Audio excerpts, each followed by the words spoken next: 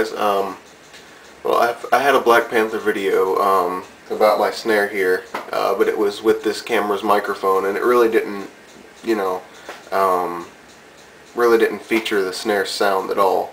Um, so I'm going to be playing it on four different settings. Um, it's a really cool snare. I love it. I was going to sell it, and I don't even know why. Um, I'll give you a quick uh, look around on it.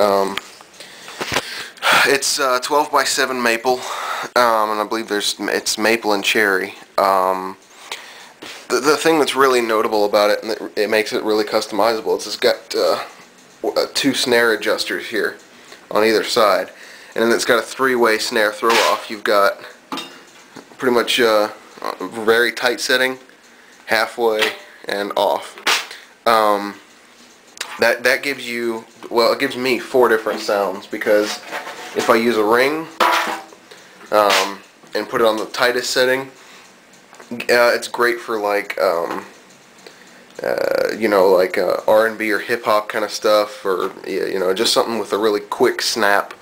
Um, if I do it halfway, still got that snap, but it it drags a little more because the snares aren't um, they, they buzz a little longer.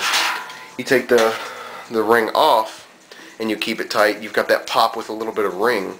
Um, so it's a little more versatile, a little more styles, and then, you know, same thing. Uh, it actually makes the snare sound the biggest when there's no muffling and halfway. So um, I'll uh, um, give you guys some clips of uh, the snare and um, just wait till you hear it mic'd up. I love it. It's an awesome snare. Um, I use it as a side snare. Rarely do I use it as a main snare. But uh, either way, you can use it for both depending on the style and uh, your taste. So here is the clip.